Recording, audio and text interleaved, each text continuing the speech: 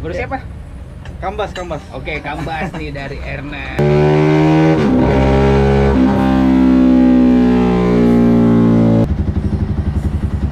Rapat. Dapat 31,5 yang paling tinggi. Nah, ini nih sempat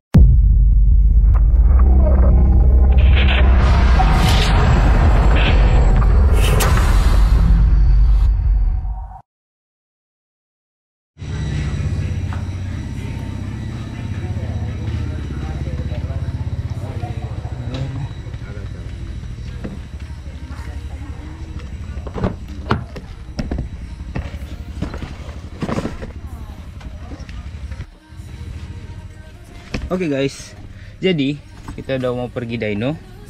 Motor gue udah naikin tuh, kunci-kunci juga ada. Ada TB, ada velo, ada knalpot. So nanti kita resetnya kita lihat aja di sana motor maunya gimana. So oke, okay. stay tune and jangan lupa like, comment, and subscribe biar nanti bisa lihat gimana progres dyno si Black Dubin. So oke, okay, let's go. Oke okay guys, jadi kita udah di Kima. Kima itu ya Kima. udah deket sih dari tempat dynonya. Nah itu ya, Black Dubin di belakang. Wih, kita udah siap USG ya kan, USG kita. USG and Ronseng ya kayaknya. Ronseng. Ronsen, anjir, Makassarnya keluar tuh, Ronseng. Hai. Jadi oke, okay nanti setelah sampai di sana kita mau dyno target gue itu kecil lah. Ya come on lah. 30 HP lah. 30 HP pokoknya gimana caranya semoga waktunya cukup ya. Jadi gue udah bawa dua kanal pot 2 TB gear set segala macam gear set tuh. Ada 44 43 terus depannya ada 15 ada 14 ada 16 13 doang yang nggak ada.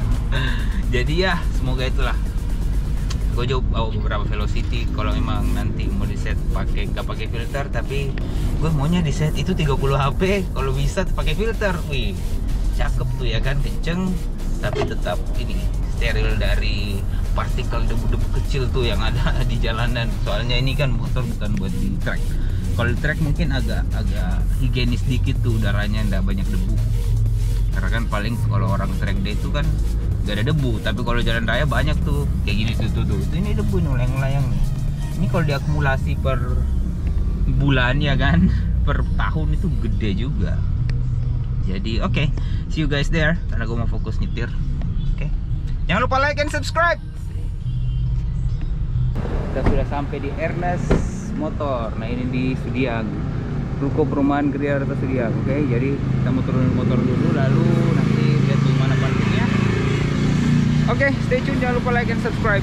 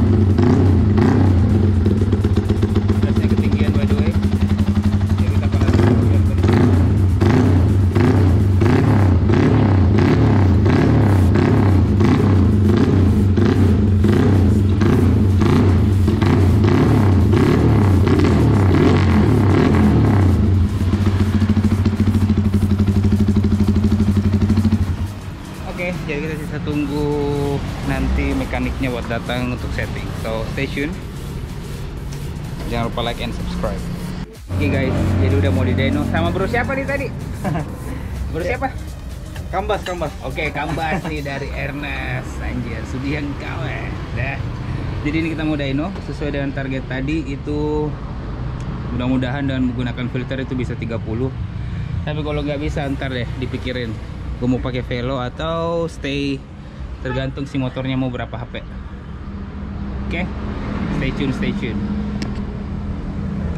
Nah ini ada sedikit note dari Ernest. Nah ini penting nih, ini buat kalian yang mau misalnya dyno di mana saja ini perlu diperhatikan. Jadi syarat-syaratnya itu pastikan kayak kaki aman, roda, baut roda, sambungan rantai. Ini kalau yang pakai motor sport atau bebek. Nah kalau matic itu bagian CVT aman, motor yang masuk ke dalam ruangan dyno siap untuk digas dan running. Maksudnya di sini itu nggak ada kerusakan ya. Jadi kalau kalian mau dyno pastikan mesinnya sehat. Karena ketika terjadi apa-apa itu di luar dari tanggung jawab dyno karena itu ya tergantung. Kecuali si Ernest nih misalnya yang buat mesinnya terus ada apa-apa dari tanggung Ernest. Tapi kalau kalian bikin di luar terus mau dyno ya itu bukan tanggung jawab dyno nah ini nih ada di sini nomor 4 kerusakan motor customer pada saat running tidak bisa disalahkan kepada operator dyno nah ini basically peraturan dyno di mana aja kalian itu pasti mirip-mirip kayak gini oke. So itu dia.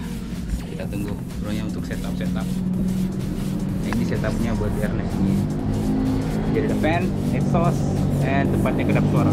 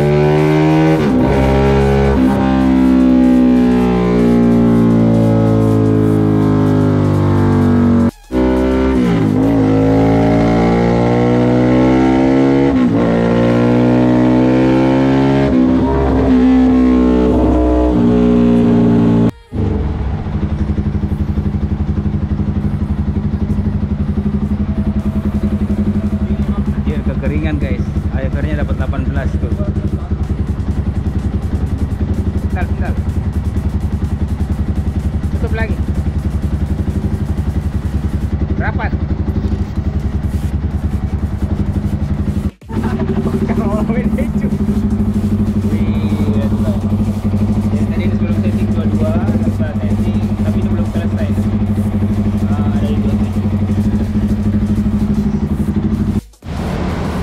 Oke guys, jadi tadi wih sesuai target ya bro. Sesuai target tuh gue ngeri nih. Jadi kalian kalau ke Ernest itu cari uangnya tuh. Jadi tadi kan targetnya kita cuma 30, tapi ini dapat 31,5 yang paling tinggi. Nah ini nih contoh grafiknya. Eh sorry, ini grafiknya nih. Tuh. Oke, begitu. Pokoknya udah kita mau keluarin dulu kita tes di jalan ke sana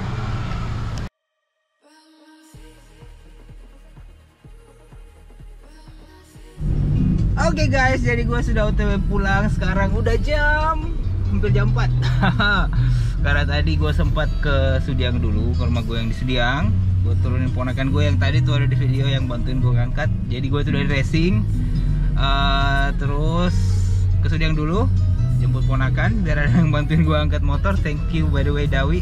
Love you so much. Thank you udah bantuin gue dyno hari ini. Dan sekarang gue tadi balik kantor dulu karena ada kerjaan dikit yang harus diselesaikan.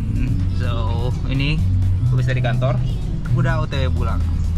So itu motornya Black Ruby di belakang, gue gue puas banget sih. Targetnya tuh tadi udah pas, udah pas di dyno nih ya kan, pakai filter. Itu pakai filter Daytona. Terus dapat 27, hmm, gue bilang hmm, paling-paling nih kalau dimaksimalin ya paling ke 28 mentok tuh 28 ya kan nah terus akhirnya dicoba disaranin tuh tadi sama abangnya katanya coba deh pakai velo. Katanya kemarin dia itu ada yang kayak gitu juga karena pakai velo itu namanya satu HP ternyata dari 27 4 HP dong 4, 4 HP setengah lebih tepatnya. Jadi dari 27 HP pas ganti ke velo itu langsung 31,5 anjir. Gua langsung tadi hype banget sih. Sayangnya tadi nggak nggak ke record ya kan hype gua karena gua kayak langsung yes and then gua ajak tos tuh abangnya like damn son oke udah bungkus lah pokoknya. Tapi abangnya baik. Nah karena tadi pas di dalam itu motor gua overheat mulu katanya itu timingnya emang sih. Timingnya dari BRT itu tinggi-tinggi banget. Dan katanya itu dia bahaya. Jadi makanya tadi disettingin ulang jadi performa tetap dapat tapi mesinnya nggak panas. Jadi itu timingnya tadi karena rata-rata itu 40-an jadi makanya diturunin kayak RPM RPM awal itu 25 20 ada maling belasan tadi gua nggak terlalu perhatiin sih. Oh ini nih ntar deh. Nanti yang data dynonya gua ini yang gua taruh di sini. And then apa tadi? Ya jadi akhirnya diperbaiki timingnya. Terus jadi mappingan gue itu dua. Mappingan pakai filter kayak misal mau touring kayak misal gue mau ke Batiling sirkuit Pangkep itu jadi ya pakai filter aja dulu ya kan? Pakai filter pakai settingan yang untuk filter jadi itu pas BBM nya AFR nya udah pas nah nanti kalau pas sirkuit nah baru deh filternya dibuka velo masuk settingan pakai mapping 2 wih jadi cakep so overall mari kita bicara soal Ernest dulu Ernest Racing Team itu katanya eh, Racing Team Ernest Racing House. Yes, I think so. Nah itu tuh mereka katanya udah lama bengkelnya di Sudiang tapi sekarang baru ada Dino dan baru pindah ke arah ceritanya di Goria. Goria itu kayak oh jalan raya yang Sudiang ya? Bagi ya kayaknya sih. Iya karena itu tembusan ke ini masalahnya ke Patung Ayam atau ke Gor yang orang Makassar pasti tahu lah ya. So oke. Okay. jadi mereka itu baru pindah baru beli Dino juga tapi asli bengkelnya proper sih. Karena kayak kalau kalian lihat itu di videonya jadi sebelah kanan itu dari bengkel itu kan semuanya indoor nih. Maksudnya ada atap. Jadi ada parkiran motor. Terus ada juga spot-spot untuk per motor jadi kayak kalau kita ngebongkar motor di sana itu pasti rapi deh. Karena gue lihat juga ada ruangan clean roomnya ada mesin bubutnya kalau gue gue nggak salah lihat tadi gue lihat milling deh ada milling. Nah terus di sampingnya itu lagi di ruko yang sebelahnya itu kayak tempat storage motor mungkin kayak uh, proyekan-proyekan atau ini musik ribut deh atau musik ah, musik atau motor-motor orang yang nginap jadi ditaruhnya di sebelah. Jadi emang rapi sih bengkelnya anjing proper banget. Terus denonya di depan. Jadi kayak kalau orang nih mau dino kan biasanya itu kalau anak-anak mau dino kayak datang tuh sama teman-temannya jadi kayak nggak mumet gitu kan di dalam suatu ruangan karena kayak terbuka terus bisa dilihat dari luar. Dan ya yeah, overall the skate shop lagi. The speed shop is so good so proper. Nice job Ernest. And kedua nih yang paling gue notice pelayanannya tuh top banget. Ih pelayanannya top banget deh. Kalian kayak mau apa mau apa ih pasti di di ini di apa diusahain gitu loh. Kayak dari segi settingan gue tadi agak banyak bacot ya kan? Tapi tetap tetap dilayanin dengan sangat maksimal. Ah gue post banget nih pokoknya. Uh, apalagi ya Dino wih Dino nya juga enak banget di situ ruangannya tadi. Cozy. Tapi gue tadi pikir kayak enak juga nih nginap di sini. Ya kan ya terus ya itu orang-orangnya ramah baik. Pelayanannya top. And kedua itu bengkel Sudiang cuy gue lahirnya dulu di Sudiang tuh. Balap liarnya gue pertama tuh di Sudiang tahun 2008 2009 sampai 2010 deh.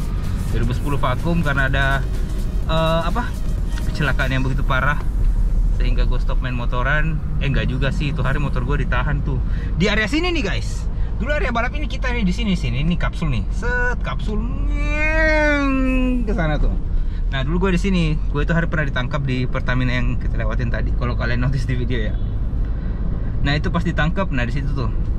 Pas ditangkap motor dua bulan tuh di Makassar Timur lah dulu. Ada istilahnya. Nah itu hancur-hancuran dari situ. Akhirnya gue di situ gue kayak ah udahlah ya. Hasil jerih payah gue bangun tuh karisma dulu karisma 125 Honda. Itu hancur. Ya udah terus main metik main freestyle jatuh parah. Gara-gara Willy panjang tuh di anjungan kaki gue lobang akhirnya cedera tiga nggak bisa jalan tuh tiga bulan. Tiga bulan nggak bisa jalan boker satu kaki. Mandi harus ngangkang angkat kaki satu di atas. Itu parah sih. Oke lah itulah short story uh, kehidupan balap liar gue dari ini Sudiang cuy. Dulu Sudiang itu terkenal dengan balap pembalap pembalapnya dan motor-motor kencangnya dan sekarang dengan adanya dyno kayak gini nih dan bengkel propernya Ernest dynonya Ernest anjir pasti Sudiang nanti makin jaya nih. Uh, per dunia permotorannya. Oke okay, so that's all from me. Kayaknya gue tutup aja deh video dari sini. So yeah. See you guys in the next video. Peace out and say bye bye to Dubi subscribe